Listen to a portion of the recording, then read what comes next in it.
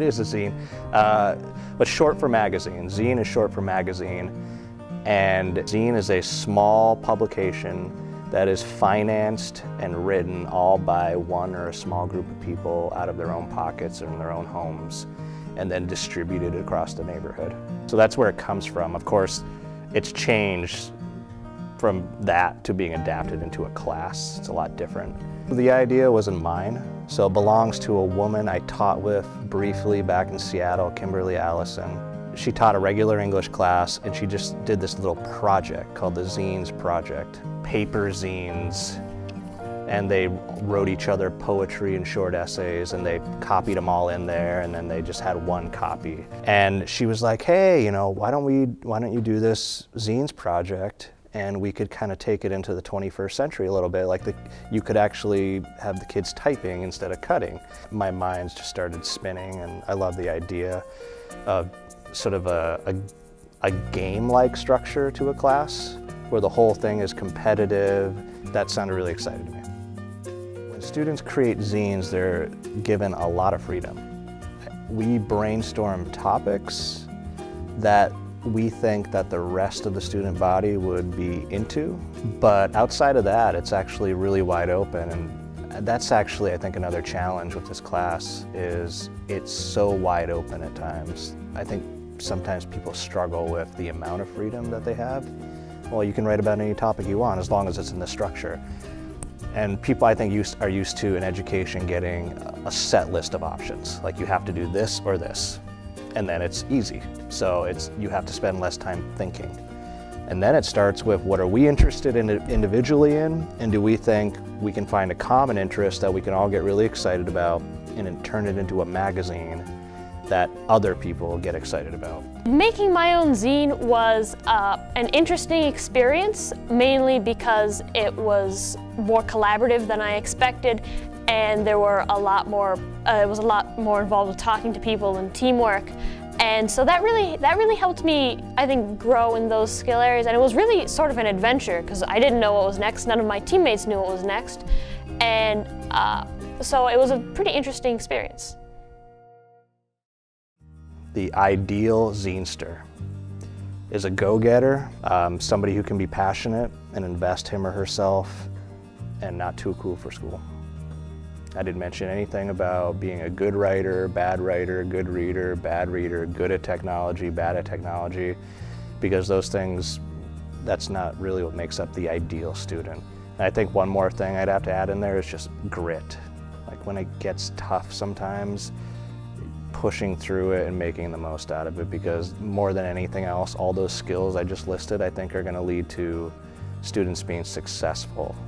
The purpose is to put people in positions where they have to make decisions that impact their themselves and their zines. I want to put people in the middle of the tug of rope and I want every student to feel tugged back and forth between two things. So really it's it's putting students in a position of trying to balance it all perfectly. How do we spend just enough money for great writing, just enough money for photos, and other things so that we create this great product at the end. So and I think that's real world too because you're going to operate, whatever you do, you're going to have to operate under a budget someday, whether it's as a, as a husband, family, um, or as a business. I definitely think that my experiences in zines will help me in my in future life, in my career in college. I've learned a lot about teamwork and a lot about working with people in zines. I've also learned a lot more about myself I've learned how I, myself as a writer, like to work. I've learned about how I want to express myself and how it's best for me to get things done. And I feel like that's going to be very valuable in the future because in the future, when we're working in a company, the boss doesn't hand us a piece of paper that says, talk about what you just read in ABCD format. Like that doesn't happen. The boss might go and say, hey, what did you learn from that meeting? And you've just got to tell them and you've got to figure out a way. And I feel like you aren't really prepared for that in the in a normal English class. Not that a normal English class is somehow worse than zines or not as good, but I feel uh, zines prepares you for a different set of experiences in life, and I feel like it does that very well. Well, for one thing, Zines is less teacher-led than other uh, Common Core English classes um, because it's mainly you and your team doing things. It's less teacher-directed as we go on, I would say.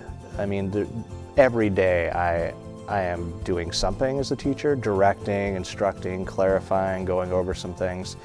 Um, but the further the class goes on, the less I am really needed, which is a little, which is uncomfortable sometimes as a teacher because I feel like in a traditional class, yeah, I'm sort of, sometimes I'm the sage on the stage or I'm the leader of the discussion. But here it takes a lot of trust for a teacher to just turn things over to students and know that students will make mistakes and they will make wrong choices.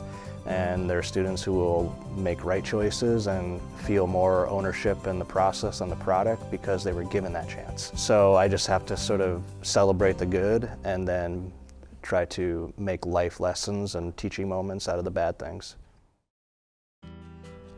So one, one fallacy is that, well, you, you take zines maybe because you want to go into journalism or something like that, or, or you take zines because you just don't want to read. and I mean, maybe that's what drives you to this class. Maybe you want to be into journalism. And there, I always have a few students who are always gunning for journalism, and this is the perfect kind of class for that. And I also get students who take it because they'd rather write as opposed to read, and that's okay too. But I think to be successful, you have to be passionate. I, I think that's really, and you have to be willing to walk blindfolded a little bit because it's, it's different. It's so unusual. And I think I can describe what it means in the course syllabus and I can come into your class and talk about it but it's not really going to hit home until you get into it about how different this class is and maybe just how different I teach it too. In zines, we still get a good English experience. It might not be the same English experience, but I still think it's definitely a quality experience. In zines, we still have to write, we still have to proofread, we still have to edit things, but it's not necessarily following the same format and it's not necessarily following the same timeline as a normal English class. It's definitely an English experience and it's a valuable English experience, but not necessarily the same kind of or a similar experience. It's, it's interesting for me because I teach a class like this, but I also teach AP US history, which in a lot of ways is the exact opposite. It's standard, it's tests, it's high amounts of reading, it's tests, it's high amounts of reading, and it's just fast paced and everything is very defined. Um, there's, there's very little creative freedom in terms of being successful. If as long as you're willing to work hard, which is still a really big value of that class, if you have grit and you're willing to work hard and you can engage in, in some collaboration, but not the kind that Zines has, you will be successful. But sometimes it's, it's hard to think, you know, will this concept of a class, will it ever really grow? I don't know because there's so much pressure on teaching X, Y, and Z and testing students and proving that you can do this and that. So while I think there's a place for AP US history and there's a place for zines, I, sometimes I just worry that, I don't know, the space allotted for a class like zines is just, is shrinking. I don't have any conflict myself. I love I love the zines experience and I, I love the APUS history experience and I love English 11 experience. I, I love learning and I love different styles of learning and so for me it's actually it's a good thing. It it lets me shift gears but I just I still worry about it as a class in the system of education. But I think it has a lot of merit, I think it has a lot of value and uh, I really hope it continues.